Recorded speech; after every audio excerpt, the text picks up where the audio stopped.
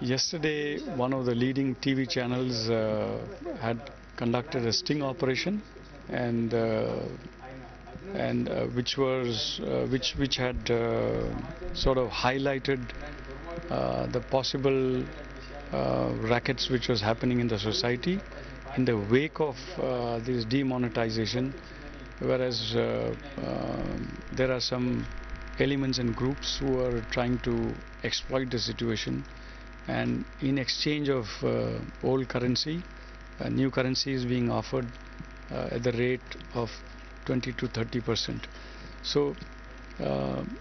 on the on the basis of the sting operation, uh, the police, uh, Vijayawada City Police, quickly got into action. In fact, uh, uh, right from the highest uh, level, uh, our uh, Honorable Chief Minister himself, uh, seeing the TV reports, uh, has given directions to our uh, DGP, and uh, the DGP had alerted us and wanted, and on accordingly we reacted to this situation, uh, and we were able to quickly uh, round up all those characters who were involved in this uh, sting operation. Uh, there were four uh, characters who were seen during that sting operation. Uh, by this morning early hours, we were able to identify, locate, and then take them into custody.